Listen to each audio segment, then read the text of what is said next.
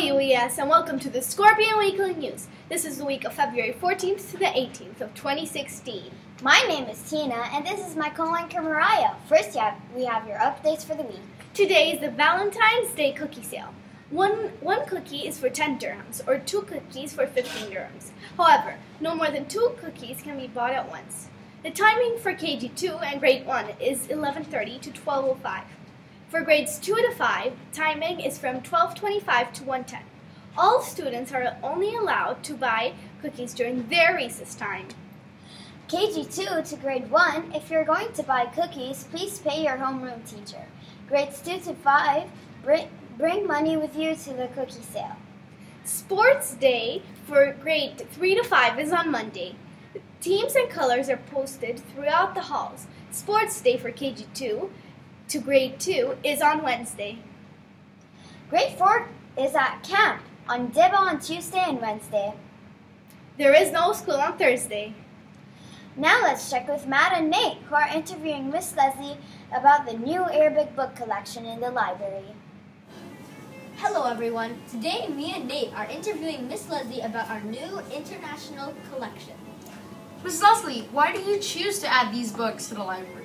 Well, we are an international school, Universal American School, but we're international school. And so I feel that we should have books in many different languages, not just in English. And especially we should have books in the language of the country that is what you call our host country, which of course that language would be Arabic. Do you think these books would attract students? Absolutely. I think students who are interested in being part of the Sheikh's reading competition would love to know about this Arabic collection, which is right behind me. Do you think these books are for all Arabic readers? I actually do, yes. Most of them are quite easy to read. Here's an example of like a typical one um, from our collection in Arabic. And um, I don't have any that are novels or that are very high reading levels, so I actually do think that they're for all Arabic readers and speakers. Do you think we can expect more languages that's such a good question. Thank you. Yes, first of all, we can expect a lot more Arabic books as the months go on. We have a lot here, but me and Miss May are getting them ready for the shelf, and that's like library work, that it takes a little while to do. So keep watching this hopeful space. But we also have books over here in Spanish, or they're bilingual in Spanish and English. And then over on this side, we have books in French, and I'll kind of fan out what I've got here. Will you hold Conejo for me, Matt? I'll kind of fan out the other books we've got. We also have just a few in Chinese and even one or two in Korean. Look, there's a Mo Willems in Korean and a Splat the Cat in Chinese, and then French, Spanish. So we're going to add more and more languages, and if parents would like to donate books that they have in their native language, we would be happy to catalog them into the library. Thank you, Ms. Leslie, for that wonderful interview. Now back to the studio. Thank you, Matt, Nate, and Miss Leslie, for that great information about the new Arabic section of the library. Now let's wish a congratulations to this week's classroom shout out. Awesome job to all of the KG1 students for demonstrating the balanced learner profile at their sports day.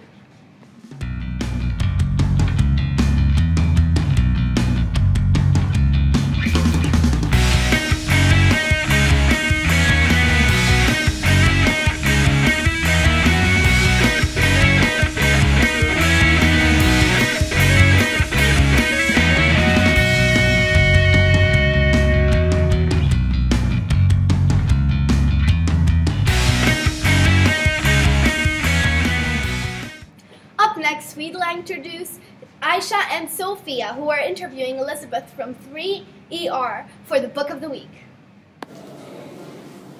I'm Sophia. And I'm Aisha. And we're interviewing Elizabeth for the Book of the Week. So, Elizabeth, what book are you reading? I'm reading Smile. And it's by Raina Telgemeier. Please give us a short summary of your book. It's about a girl who deals with big problems like her teeth falling out. Why have you chosen to nominate this book? Because it's a good book and it teaches you how to deal with some problems. Thank you, Elizabeth, for that book of the week. Now back to the studio. I'm Mariah. And I'm Tina. And this is the, Scorpion Weekly News.